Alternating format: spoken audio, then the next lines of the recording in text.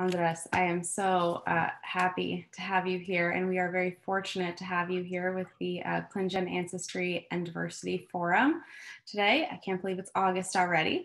Um, very exciting. Uh, so the title of um, our talk that we're going to be hearing from today is Indigeneity Within Datasets, DNA Sequences, Journeys, and Genomic Representations about the Karitiana people. And you can probably help me pronounce what the actual name is.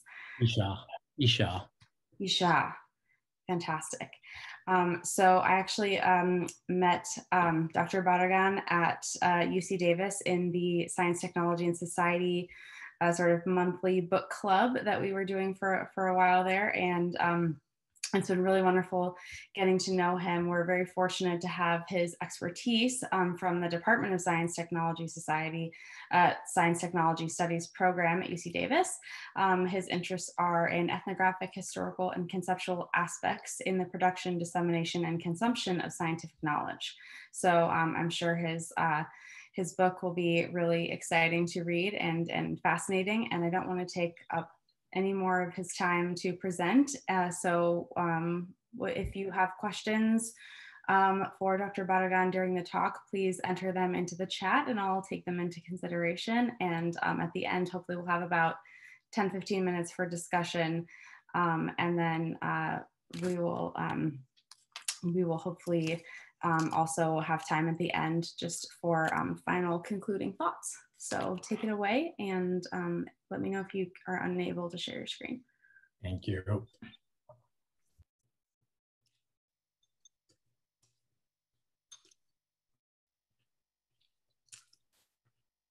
All right.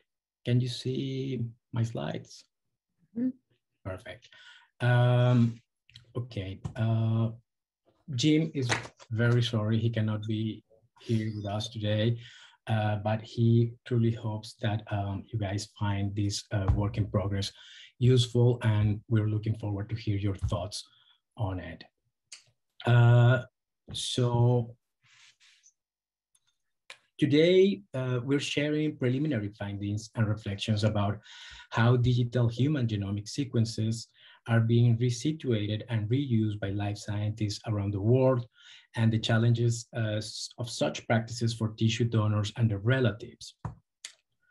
Uh, or archival, conceptual, and ethnographic work centers around the circulation of DNA data sets from the Karitiana people, uh, an indigenous group that today inhabits the margins of the Sapori River in Porto municipality, uh, located in the state of Rondônia in the Brazilian Amazon we are particularly interested in the way cultural and biological representations of their community allow and entice the traveling and the resituation of data sets among uh, genomic research laboratories and how such representations are contested and or reinforced during such processes.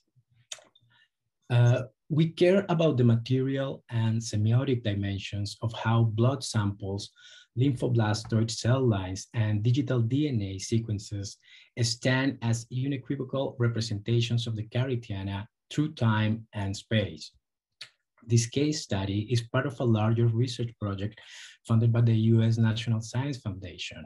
One of its main objectives is to track and understand how the production and traveling, understood as reuse, of a specific scientific objects in human genomics, like uh, models, data sets, software, findings, diagrams, individually or in bundles, is engaged by other life scientists and the individuals and communities they study, and between these and other stakeholders concerned with issues of data governance, innovation, identity, metadata, and scientific robustness. Uh, we have distributed our preliminary arguments and findings into the following four sections, uh, what is in a population name, the biomateriality of a human population, uh, DNA journeys, traveling representations, and uh, towards informed co-participation. So what is in a population name? Despite calling themselves Yjxa The community is nationally and globally known as Karitiana, a name most likely assigned by rubber tappers in the second half of the 19th century, but that today articulates much of their indigeneity, that is, a way of being indigenous in the 21st century. Uh, the Karitiana, along with other indigenous communities in the Amazon basin, have notoriously captured the scientific imagination of Brazilian and international explorers, anthropologists, linguists, and life scientists since the late 19th century. A shared assumption across a variety of disciplinary interests is that as a relatively small community, the Karitiana have managed to remain culturally and biologically isolated from other larger segments of the Brazilian population. This is a characterization taking place both through time across the Spanish and Portuguese conquest, uh, independent empire and republic periods, and to space within the Amazonian rainforest. In this context, uh, the Karitiana have embodied Western ideas such as exotic, guardians of nature, inbred, primitive, pure, obstacles to economic development, savage, among others, uh, as they became uh, subjects of state governance and research subjects for science. From the point of view of the Karitiana, such embodiments have had as common denominator an ongoing social, cultural, and biological struggle to thrive as a society within their territory. In 2014, the Brazilian Information System for Indigenous Health uh, stated that the Karitiana population size to be 333 people, uh, with the great majority living in the main village, Kyõwã, and others spread out in the nearby towns and cities accessible by uh, dirt roads uh, that connect with uh, municip the municipal paved highways. Uh, subsistence is still dependent on fishing and hunting, and more recently on mid-scale agriculture. Uh, the size of their territory allows them to produce surplus yield, fruits, coffee, maize, that is being sold for money or exchanged for processed food and or manufactured goods. A similar process takes place with uh, Karitiana handcrafts. In recent years, uh, the Karitiana have strengthened their cultural and political visibility through multiple global outlets like Twitter and YouTube. These economic and social cultural exchanges with non-Karitianas today cannot be understood as a threat to their identity or their authenticity. If anything, such exchanges are part of the essence of being indigenous in a self-proclaimed multicultural nation state as Brazil. And for the purpose of our analysis, these current ethnographic vignettes uh, are useful to help us recalibrate the relative idea of isolation that usually tags indigenous groups living in the Amazon basin.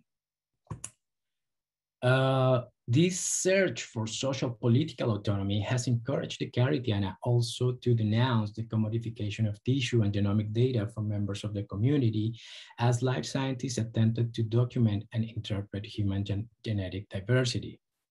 Uh, the listing of lymphoblastoid uh, cell lines from Karitiana individuals for sale by Coriell Institute for uh, Medical Research was first addressed in Brazil by anthropologists Ricardo Ventura Santos and Carlos Coimbra in 1996, right after the two researchers participated in the annual meeting of the American Association of Physical Anthropology in Research Triangle Park in North Carolina. At that conference, representatives of Coriell were advertising their human diversity collection, which included cell lines from the Karitiana and Surui people in Brazil, the Waorani in Ecuador, and the Quechua from Peru, all as representatives of South American Indians. Santos and Coimbra's criticisms, criticisms uh, set in motion both political and legal maneuvers in Brazil to establish the provenance of the tissue and outline possible actions to stop the commodification of the cell lines. The Karitiana case was added to a long global list of potential commodification of genetic material from indigenous groups collected by several uh, non-governmental organizations such, action, such as Action Group on Erosion, Technology and Concentration, ETC, working both in Canada and the US. Uh, 11 years later, in June 2007, the case reached a larger audience when the New York Times published an expose by journalist Larry Rohter after he visited the community a few weeks before. His article was structured in the form of a scandal and managed to silence some of the findings already produced by Brazilian authorities after Santos and Coimbra's article in 1996 in particular, and those produced after by researchers of the National Indigenous Foundation uh, and by some of the researchers allegedly involved in the collection of tissue. Nonetheless, uh, Rohter's report uh, brought further information about some of the uh, US life scientists and the research networks that made possible the immortalization of blood samples into cell lines. Section two, uh, the biomateriality of a human population. How did Coriell Institute end up reproducing and distributing cell lines from members of the Karitiana people in the mid 1990s? This was the result of serendipity, the networking efforts of life scientists, and the consolidation of global research agendas uh, framing indigenous people as key research subjects for understanding various aspects of human evolutionary adaptability. A key figure in this story was Canadian epidemiologist Francis L. Black, uh, he did his PhD at UC Berkeley in biochemistry and joined the faculty at the Yale University School of Medicine in 1955. In the 1960s, uh, Black expanded his contributions from the study of vaccines to a more comprehensive agenda that included the epidemiology of isolated populations. Black made the Brazilian Amazon his main fieldwork area, producing epidemiological studies in close collaboration with Brazilian colleagues among more than 20 indigenous groups. Other life scientists, such as James V. Neel, started developing parallel research agendas during the 1960s under global programs supported by organizations such as uh, UNESCO and the World Health Organization. Uh, Perhaps one of the most significant agendas for the Amazon Basin was carried out by the Human Adaptability Committee within the International Biological Program, uh, co-directed by Neel between 1964 and 1974. The uh, human adaptability component was responsible for the study of non-complex societies living in harsh natural environments. A structural emphasis was the correlations between phenotypical manifestations and ecological settings. The program provided fieldwork experience for several researchers that in the next decade became prominent figures in human population genetics around the globe while focusing instead on genotypes. Uh, in 1973, uh, geneticist Kenneth Kidd and anthropologist Judy Kidd became faculty at the School of Medicine at Yale University. Uh, the work done by Black was an inspiration for the Kidds to start working with uh, human populations and a long-term collaboration among the three started. Uh, the first documented collection of blood samples among the Karitiana by Black and his wife, Joyce Black, took place at the end of the 1980s. The tissue collected from 77 individuals made possible their first co-author article in the journal uh, Human Biology in 1991. Uh, but that time, the Kidds had mastered the technique for the immortalization of blood samples. Uh, in the method sections of this article, uh, the authors stated, quotes, uh, for all the three populations, uh, meaning Mayas from the state of Campeche, Mexico, and from the Karitiana and Surui in Brazil, uh, blood was drawn in the field and transported to the lab at Yale, where B lymphocytes were isolated and transformed with Epstein-Barr virus, following essentially the protocol of Anderson and Gusella. Uh, we established cell lines from each of these populations on 40 to 54 individuals. For each population, five cell lines from unrelated individuals have been deposited uh, in the NIGMS Human Genetic Mutant Cell Repository at the Coriell Institute for Medical Research, end of quote. Uh, the Kidds not only share some cells, cell lines with colleagues at Coriell Institute, but also contributed to some of uh, to the Human Genome Diversity Project at the time under the leading figure of Luigi Cavalli Sforza at Stanford University. Uh, the inclusion of the Karitiana cell lines as part of the Human Genome Diversity Project, Diversity Project Diversity Panel around 1991 paved uh, the way for the current online distribution of their members' DNA in the form of digital data sets. Uh, the censure of the sale of the Karitiana cell lines by leaders of the community and multiple activists overlapped and echoed the strong criticisms against the Human Gene, Genome Diversity Project and the future of tissue collection representing global human diversity. At the end of the administrative life of the Human Genome Diversity Project, uh, its leaders approved uh, transferring the diversity panel to the Human Polymorphism Study Center uh, of the Jean Dausset Foundation in Paris, France. Uh, this strategy sought to address both criticisms produced and allow to future researchers access to 1,063 uh, cell lines gathered by its collaborators and representing 52 populations.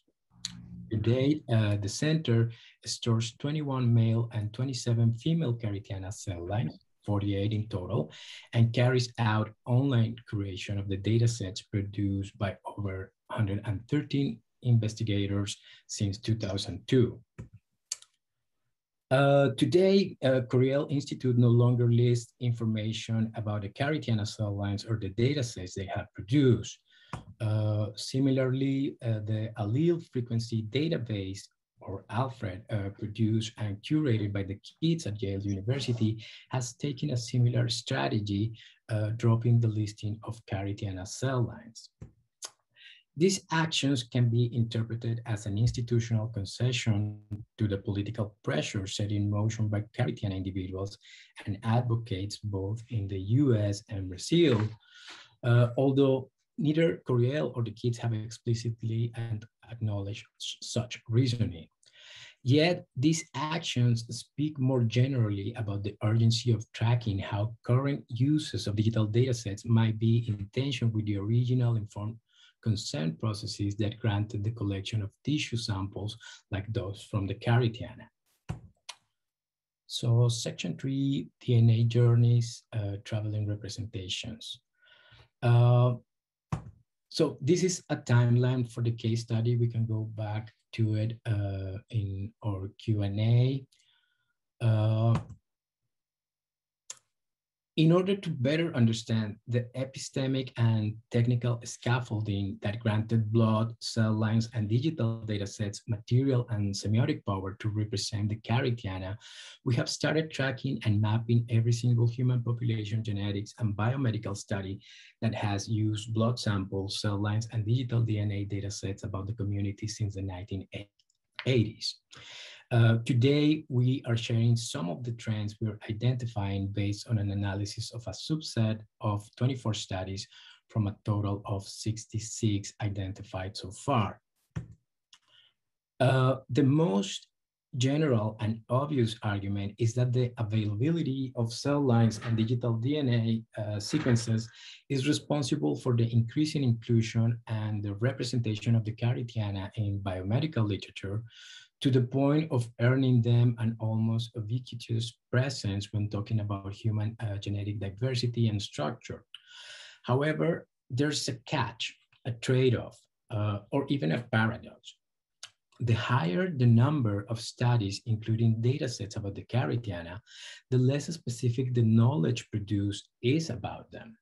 In other words, the number of findings about the community has been decreasing as the resituation of the digital DNA data sets from their blood samples increases among biomedical researchers.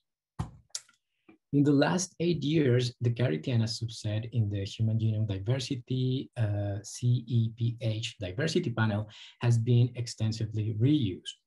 Uh, nonetheless, a good number of these studies do not have as a goal studying the Karitiana per se, but rather using them as a digital uh, DNA population control to answer specific questions about other populations, uh, specific biomedical problems, and or, or larger human evolutionary questions about the peopling of the world.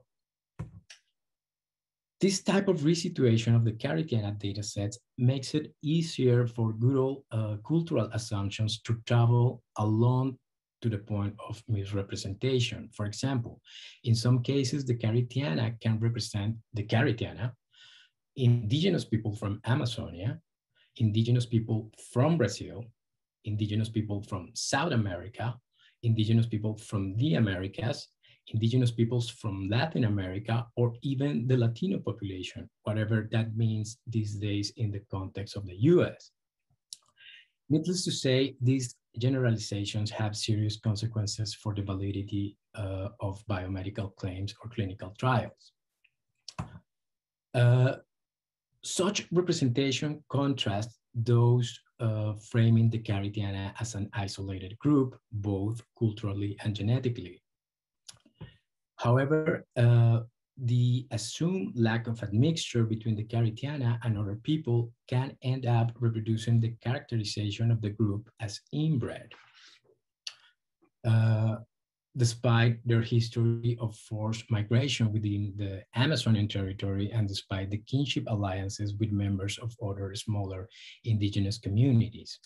Some of such alliances and mixtures with other groups have been documented ethnographically, but most importantly, they are still present in the oral traditions of the community as they narrate their struggle to avoid extinction. The contradictory but complementary genomic representations set in motion by life scientists in the, since the 1960s have both traveled along the material semiotic transition between blood samples, cell lines, and digital DNA datasets. Uh, a final trend we are identifying is that for those more recent studies that reflect with more detail about issues of representation about the Karitiana, the main goal was evaluating the robustness of the human genome diversity uh, as a data set, uh, panel, sorry, panel as a data set, as a model for comparison while tracking human diversity these types of data curation, although valuable, uh, matter to uh, are valuable and matter to us because it constitutes methodological implosions that fragment data sets in data points into data points. And in doing so, life scientists enable and close possible routes for representation to travel along with uh, genomic data sets. This case study is offering so far key insights on how genomic datasets can embed cultural representations about indigeneity that set the very value and pace for the resituation in biomedicine, human population genetics, and human evolutionary studies. Likewise, the case is providing evidence of how difficult it is for the very individuals and the community they represent to, attempt updating the metadata circumscribing the material and semiotic dimensions standing as a representation of their current indigeneity. Uh, the case also allows us to gesture uh, the anachronic impossibility of blaming past informed consent processes for not catching up with uh, the contemporary fast-paced logics of data-centric biology and how we as scientists, but also as citizens, engage with modes of speculating and banking on and sharing human genomic data. It is difficult to imagine that Francis L. Black could have envisioned the transcendence reached by the material semiotic embodiments of the blood samples he collected at the end of the 1980s in the Amazonian rainforest irreparably absent, uh, the impossibility of gathering his thoughts on our findings leaves us with uh, the urgent responsibility of owning the epistemic and ethical conundrum. Um, I'm calling this section toward better resituation of human genomic data sets. Uh, we want to use the archival and conceptual findings emerging from our tracking activities as a proof of concept that justifies producing a similar endeavor for each of the other 51 populations represented in the Human Genome Diversity uh, Project Diversity Cell Line panel. We, we believe that having this type of thick description and analysis available online as a companion for each uh, data set will offer researchers an opportunity to thoroughly think about the epistemological and ethical ramifications of reusing digital data sets in new research workflows. Uh, that by itself can improve the overall structure for producing findings and disseminating them. Uh, we have started started producing similar efforts for uh, population subsets in other nearby countries such as Colombia. And it is clear that the availability of archival data will determine the depth of our analysis. Yet any context for each subset is better than nothing, considering that we are talking about sample collection processes that are at least over 30 years old. Uh, as we move forward and finalize our tracking of the totality of the largest possible number of biomedical and human population studies uh, that have included data sets about the Karitiana, we expect to increase the amount of detail for each of these potential modes. Uh, lastly, but uh, most importantly, um, oh, wait, sorry, I, I, I, I missed a little bit of uh, data here. Um, okay, so uh, excuse me.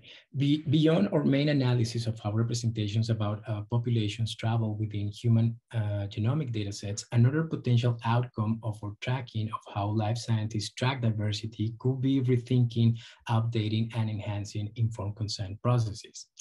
Uh, we want to offer you a teaser about what we think as a governance model for the Karitiana datasets cool or might look based on the previous epistemic and semiotic challenges outlined so far.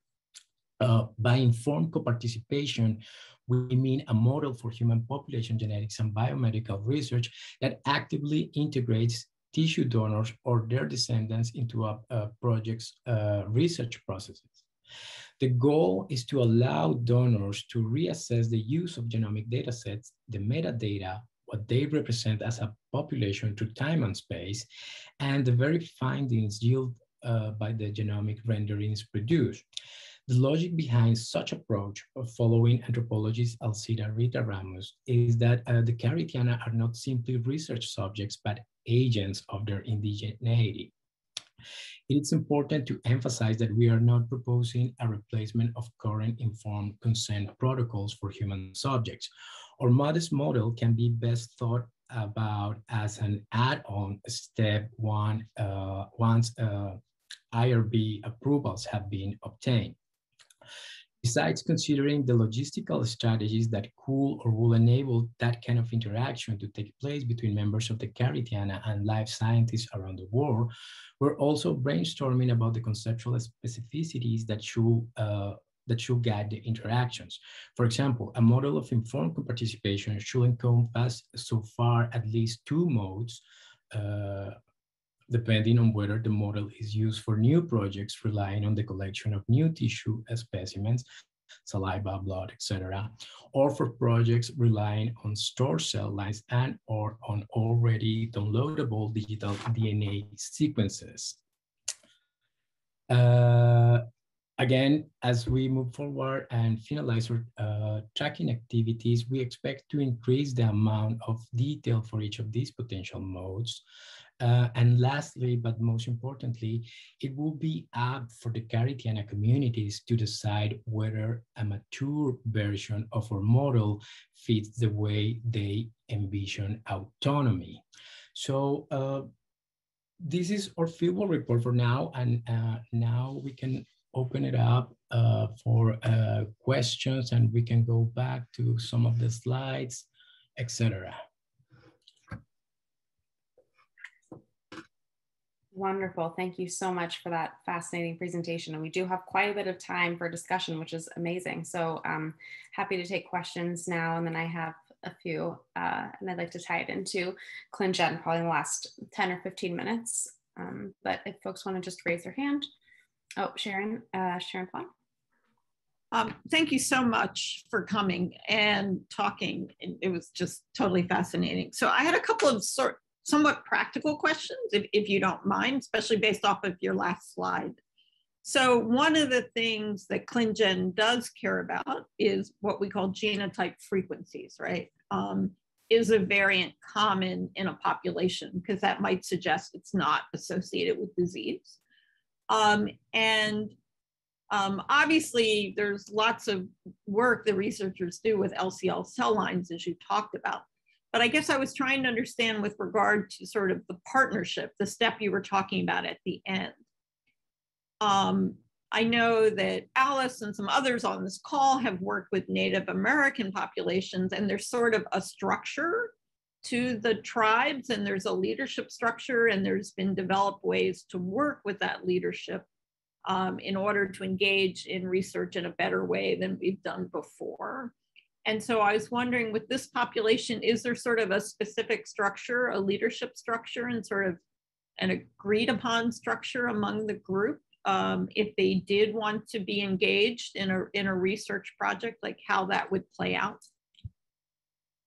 Uh, so far, the answer to your question is yes and no. So there, there's perspectives about uh, whether to be open to collaborate with uh, scientists changes from generation to generation. Uh, so there might be individuals in the community that are interested in this, in taking care of, you know, producing better dialogues and are open to work with anthropologists, biological anthropologists, geneticists, etc. And uh, it becomes very personal, and that's one of the challenges that um, you know might impact how uh, robust our model is. Uh, the idea initially will be to uh, explore how um, some whether it's possible for some members of the community to you know kind of uh, interact with researchers uh, around the world interested in using uh, uh data sets uh, coming from the community and whether that can you know be um, a step towards like uh, producing a more a different way of um, bringing the community into new projects that require the collection of new tissue. So uh, at this stage, everything is exploratory. We, I, I, I, we want to be done with the analysis of all the studies available to start seeing problems and probably start uh, producing some uh, conversations and interviews with members of the community to address these issues and identify um, what are their concerns about the reuse of these uh, data sets and about the implications about how they get represented in the studies. And based on that, then we can kind of like improve what the model that we are aiming for, right? Right. No, that that's really helpful. I guess part of the reason I brought it up is that um, in my own experience, now many years ago, I was studying a rare recessive disorder um, that um, had been termed Navajo poikiloderma, but we actually recommended changing that name. Um, and one of the things we discovered is that there were individuals with that disorder living in cities in Arizona who had consented to our project, although we then became aware that the Navajo Nation as a whole had put a ban on any um, uh, genetic studies at the time. We're, we're going back almost 15 years. And so there's that sort of struggle between individual decisions of people who are a member of the group and the group itself. And that's why I was sort of wondering if there's a structure to the leadership of the group um, with regard to making decisions. But it, it, sounds like you're you're trying to piece that out as, as you approach your work. So appreciate that answer. Oh, thank you. No, this is very useful. Like, so I have extensive ethnographic experience, you know, uh, uh, research experience with uh, ethnic minorities in Colombia and in the um, Amazonian, uh, the Colombian part of the Amazon. And this is the challenge. It's like one model doesn't fit all. because uh, in a context like Colombia, where you know indigenous groups, in theory, have control over 33% of the uh, territory of the country, uh, you will think that their uh, political agendas are quite different. So you have some of the communities they care about these issues. Um, if they can profit from you know having researchers doing uh, genetic studies, that's fine. They don't have you know a problem with um, granting access to tissue, but there are others that do have problems with that. So it, it becomes like each community is its own universe, and this is me stepping into the Brazilian realm of the Amazon, and it, it's pretty much the same. Uh, just like uh, the problem is that it's fragmented within the politics of the community. So some generations, some members of the community are more uh, conservative, some others are more open to you know new initiatives, despite the fact that in the past uh, there have been uh, friction or debate about uh, how uh, uh, samples ended up in different research laboratories, etc. So it requires that the next step, once we're done uh, tracking and mapping uh, trends uh, in these uh, research studies, it will be to you know create the conversation to see if actually a model like this makes sense for them. Thank you.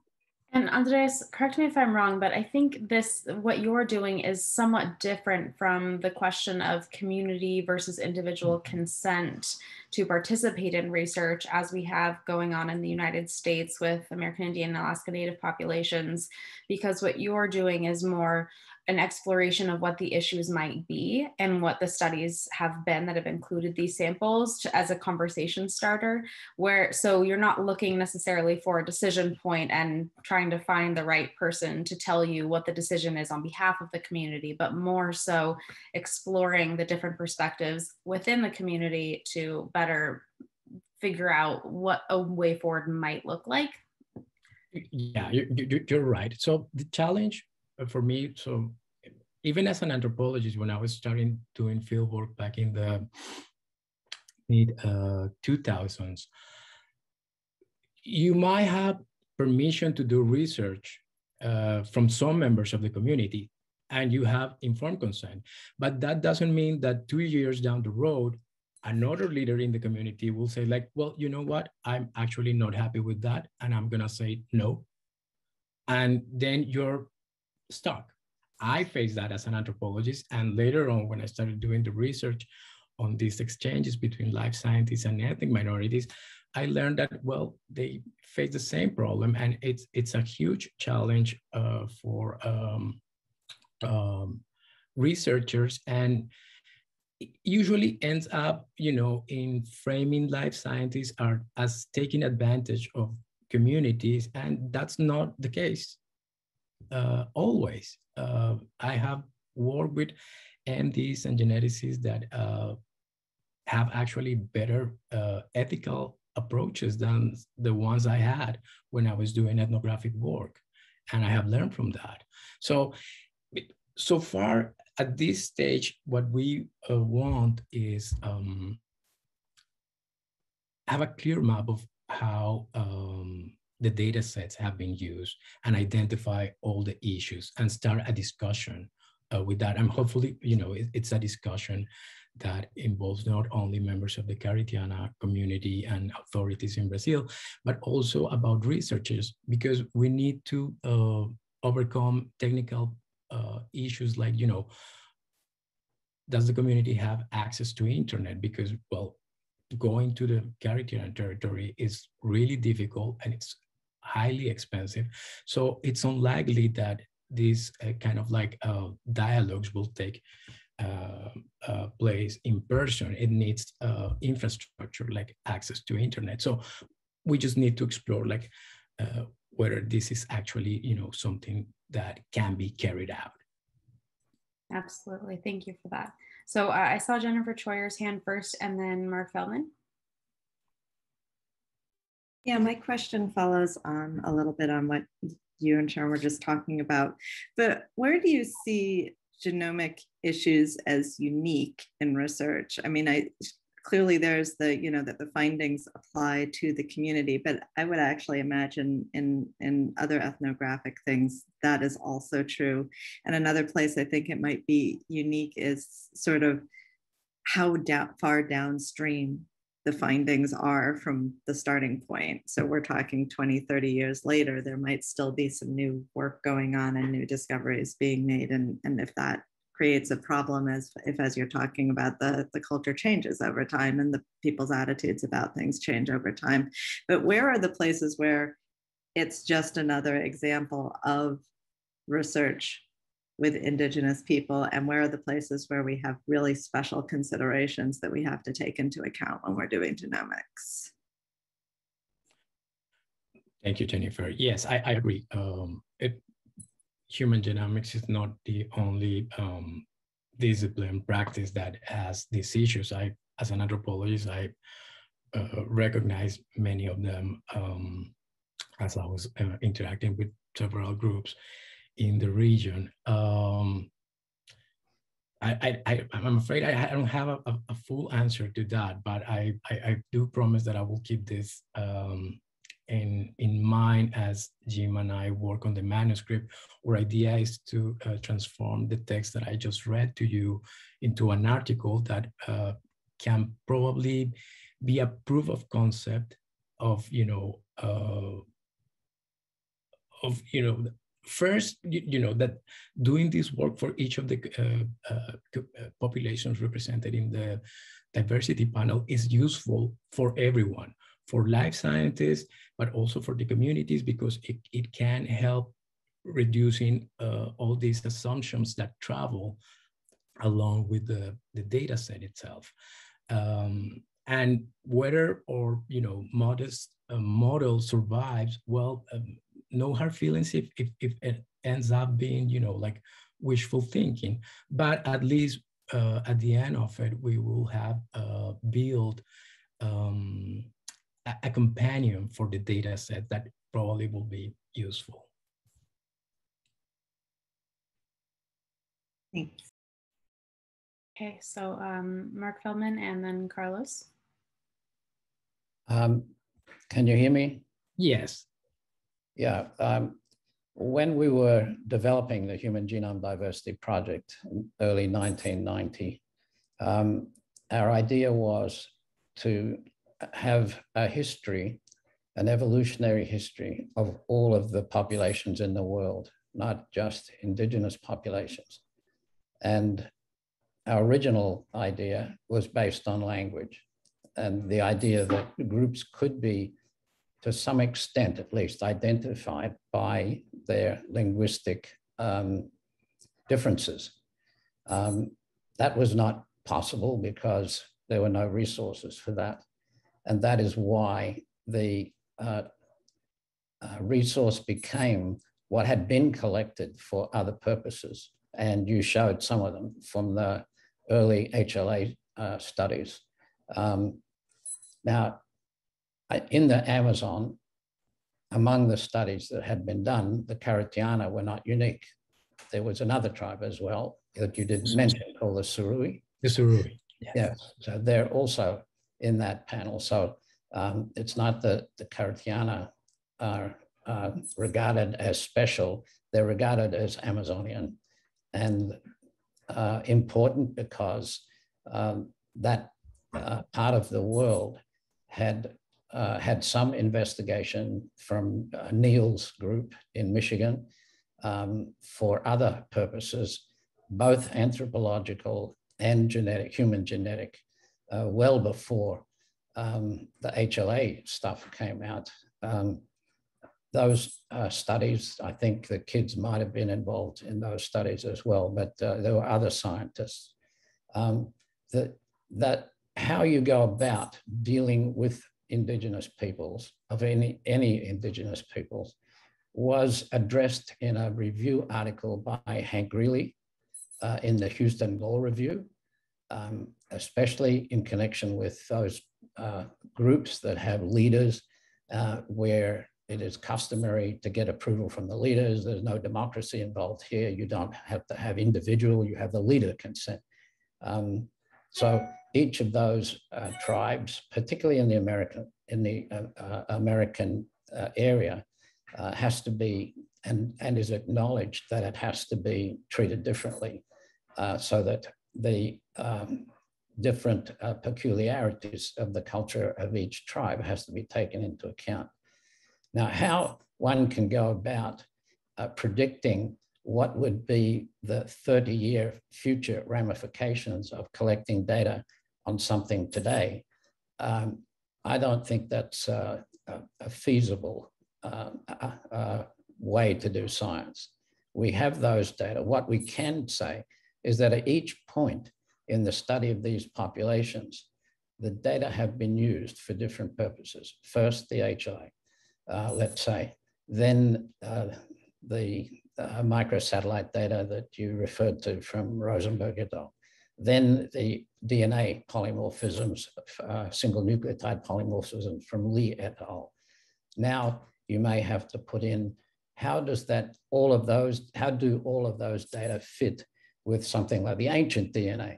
the uh, actual formation of these populations. That, that's the next step. There was a little mention of that in one of your slides. And the future will be what would these people regard as acceptable statements about their origins uh, relative to the first migrations into the Americas?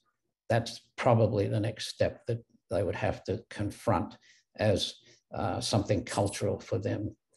But the data themselves uh, point to the uh, arrival in the uh, Americas as being a singular event um, that took place after the other spread of pop human population, hominid populations, human populations around the world. Um, I don't think that that's a debatable uh, issue.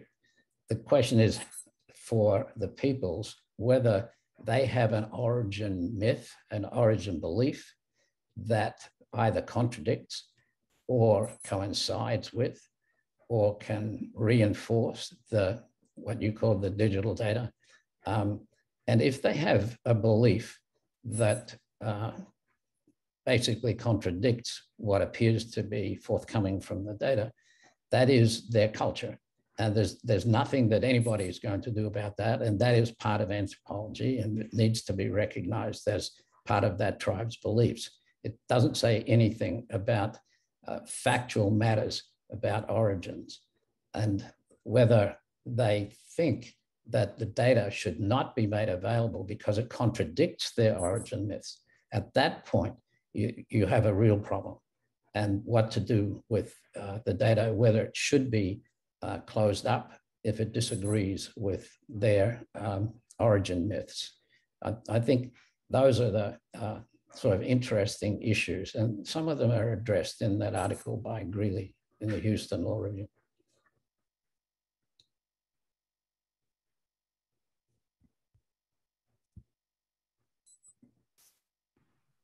Oh, Andres, you're muted. Sorry about that. Thanks, thanks, thanks a lot for that insight. Uh, um, quick, quick thoughts. Um, it, it, it's interesting. Yes, the, the Surui is equally uh, present, but there is a, a trend mark that for some reason the Caribbean are more visible in how the data set is uh, used, at least in the last 10, 15 years. Uh, the Surui, although their data set is available, has been used less. So why that uh, is the case, I, I don't have a, a, clear answer. Maybe it's just like for some reason the Karitiana started uh, being cited more often in the literature and people uh, went directly to that particular subset. Uh, but you're right, it's, it's not the only um, Amazonian uh, community um, uh, represented in the large um, uh, diversity panel. Um, yet there are also interesting things that I, as I have glimpsed into other potential archives, is um, there is a mention of Colombian samples, and what it's interesting about that is like rather than mentioning specific groups within the territory of Colombia, they are tagged or the metadata uh, uh, distinguish them as uh, Colombian.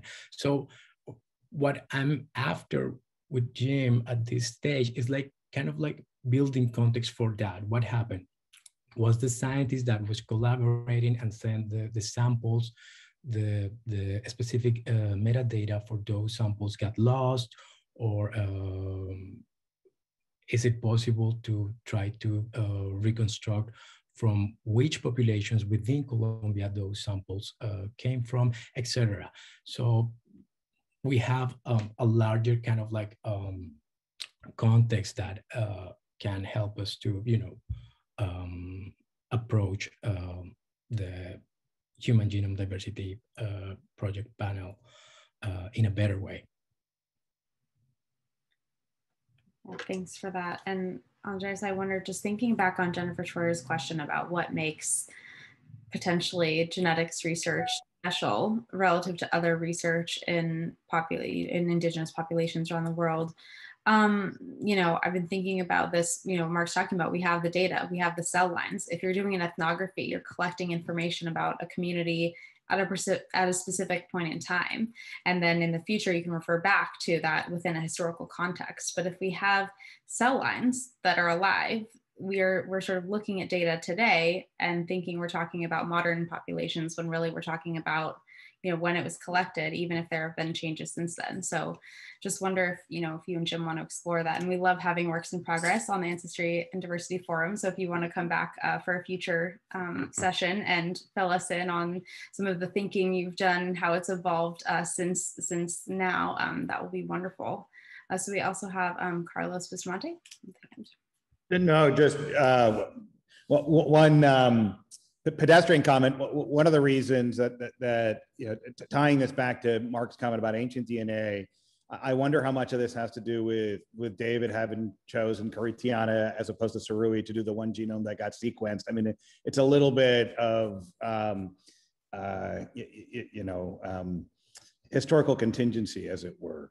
Um, uh, I think the, the the the deeper comment that I wanted to raise is that um, as we look out over the next decade or two, um, there's going to be a ton of data that's obviously going to come from the healthcare system as as folks of all kinds of um, ancestry, including Karitiana, um, go about getting healthcare. So, could you tell us a little bit about what the current um, sort of medical genetics looks like in in in in the country, particularly in indigenous populations, and as you start thinking about, say, universal basic childhood screening for Mendelian disorders that I'm pretty sure will become kind of like COVID testing, right? Everyone's getting COVID tested. It wouldn't shock me if in a couple of years it becomes pretty routine, no matter where a child's born, that they're being screened for Mendelian disorders and on and on and on. So, uh, uh, you know, so so so if, if it's coming from researchers, it's one thing. If it's coming from the healthcare system, it's a little bit of a different thing.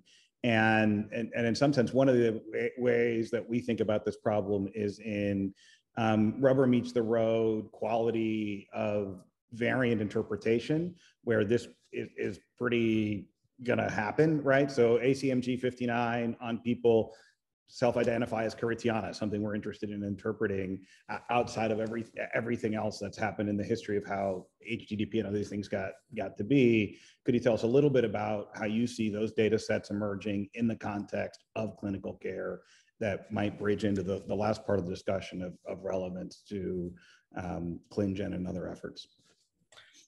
I, Carlos, thanks for the, um, the question. Uh, it's very relevant. Uh, I have some context uh, about that uh, as it concerns Colombia, where I was born and where I did my uh, uh, PhD dissertation. Um, it, it's it's it's it's happening. Uh, uh, large scale screening uh, processes are taking place in uh, countries like Colombia.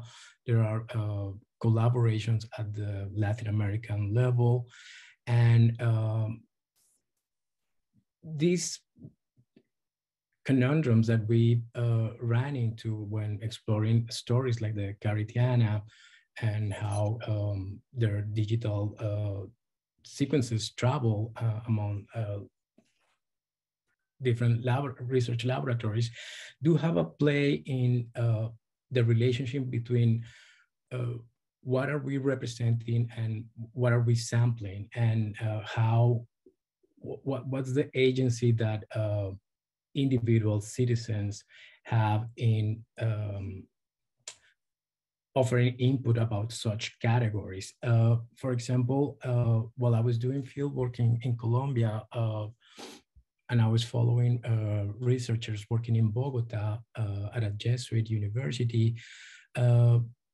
the issue emerged in terms of, you know, what happens with ethnic categories like indigenous or Afro-Colombian, Afro-descendant, uh, in projects that look at um, breast cancer, for example.